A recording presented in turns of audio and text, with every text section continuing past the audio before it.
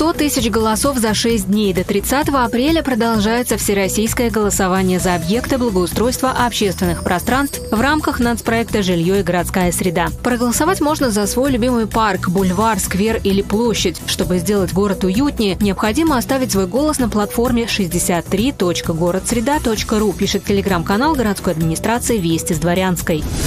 В Самарской области ожидается мощный паводок. Синоптики прогнозируют уровень воды выше среднемноголетних значений на 55-240 сантиметров. В марте-апреле в зону подтопления могут попасть населенные пункты и дачные участки. МЧС напоминает, что жители частных домовладений также должны включиться в работу по предотвращению паводка, убрать со своих участков снег, позаботиться о животных и в случае опасности вызывать специалистов, информирует телеграм-канал Кировского района.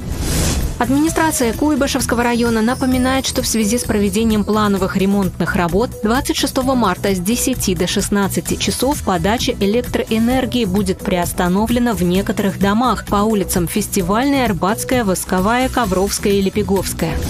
Администрация Самарского района проводит конкурс «Весенний марафон чистоты». К участию приглашаются жители района. Предусмотрены следующие номинации «Чистый двор», «Единый двор», «Чистые инициативы» и «Герои чистоты». Конкурс проводится с 25 марта по 26 апреля. С более подробной информацией об условиях можно ознакомиться в положении о проведении конкурса в телеграм-канале Самарского района.